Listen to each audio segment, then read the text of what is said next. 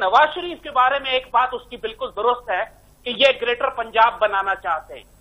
ये इनके नज़दीक पाकिस्तान की कोई हैसियत नहीं। खचाखच खचाखच बरे खचाखच खचाखच बरे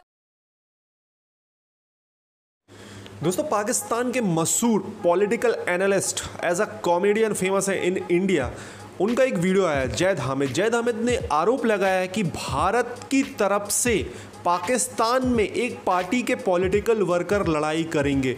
ये पॉलिटिकल वर्कर बिलोंग करते हैं नवाज़ शरीफ की पार्टी को। जब इंडिया पाकिस्तान की वॉर होगी तो ये पॉलिटिकल वर्कर पीछे से पाकिस्तान आर्मी को मारेंगे, ऐसा कुछ इन्होंने दावा किया है। इनका ये रिएक्शन आया था जैद हामिद का।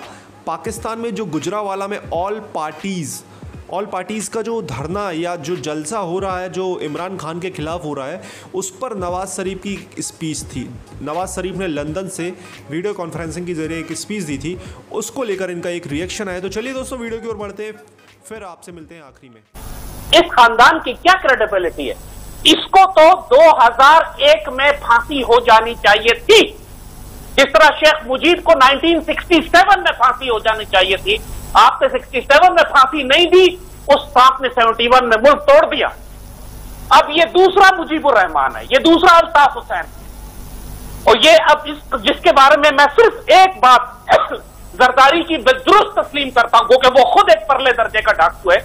लेकिन नवाज़ शरीफ के बारे में एक बात उसकी बिल्कुल दुरुस्त है कि ये ग्रेटर पंजाब बनाना चाहते हैं। इनके नज़दीक पाकिस्तान की कोई हैसियत नहीं है। इनके नज़दीक पाकिस्तान तोड़कर ये पंजाब के वॉयसरॉय बनना चाहते हैं काफ़ी इन, इनको कोई ताल्लुक बलूच बलूचिस्तान से फ्रंटियर से सिंध से कोई जिस तरह जरदारी ने मेमो गेट में पाकिस्तान तोड़कर सिंध अलग करने का प्लान बनाया था। इसी तरह नवाज़ शरीफ पंजाब अलग करना चाहता है। ये इसी बात के बीच में एक लकीर आ गई है हम एक जैसे लोग हैं आलू को तुम भी खाते ये इसका खानदानी नज़रिया ये नजरियाती तकरीबकार भी है।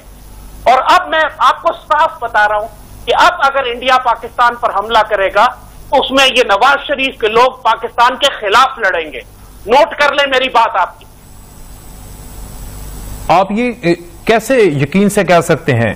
वो इलेक्टेड मेंबरान हैं उनके उनकी टोटल नेशनल असम्बली और इधर पंजाब असम्बली में मिलाकर हंड्रेड से ज़्यादा डेढ़ सौ से ज़्यादा सीटें हैं। मुजीब शेख मुजीबुर रहमान के इलेक्टेड मेंबरान नहीं थे पाकिस्तान की असेंबली में? क्या वो सारे इलेक्टेड मेंबरान मुक्ति बाहनी के नहीं थे? क्या शेख मुजीब ने भारत के साथ मिलकर अगरतला साजिश नहीं की थी? इस नवाज़ शरीफ के बाप में ज़रूरत नहीं है इतनी कि धमकियाँ दे सके, जिस तरह कल इसने आर्मी चीफ और डीजीआईएसआई को दी है। जब तक इसके पीछे इसराइल या इंडिया ना खड़ा हो।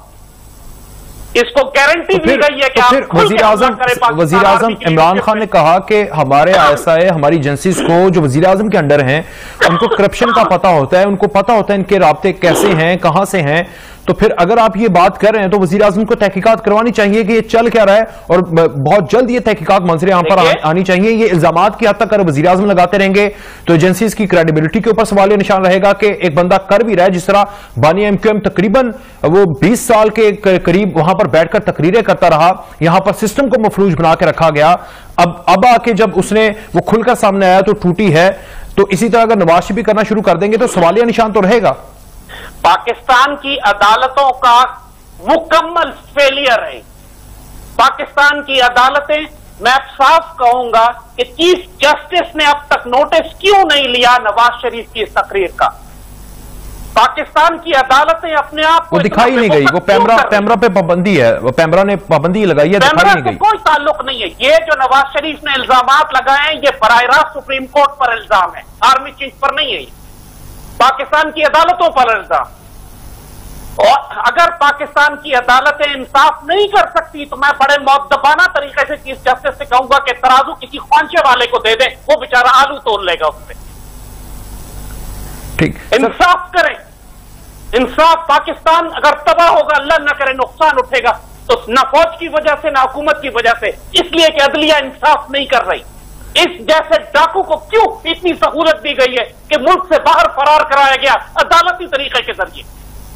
आप इल्ज़ाम देते रहे जिसको मर्ज़ी फौज को हुकूमत को लेकिन फैसला अदालत ने किया।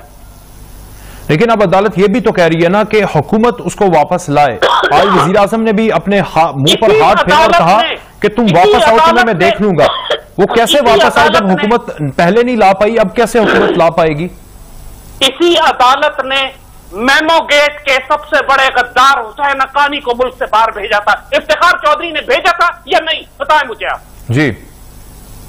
तो यही अदालतें हैं जो पाकिस्तान के गद्दारों तो को दोस्तों आपने जैद हामिद का वीडियो देखा। अब इस वीडियो को देखकर आपको समझ में आ रहा होगा जैद हामिद किस तरीके की बातें करते हैं। दरअसल जैद हामिद का ये रिएक्शन नवाज़ शरीफ की स्पीच को लेकर था जिन्होंने लंदन में बैठकर गुजरावाला में जो पाकिस्तान की ऑल पार्टीज़ का जलसा हो रहा है, उसमें संबोधन किया था।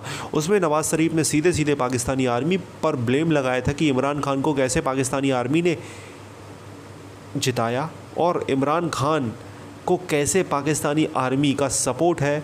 और नवाज़ शरीफ ने यह भी बताया उस डिबेट में कि उन्होंने ये बात बोली थी कि पाकिस्तान की आर्मी ने नवाज़ शरीफ को बोला था कि वो इस्तीफ़ा दे दें।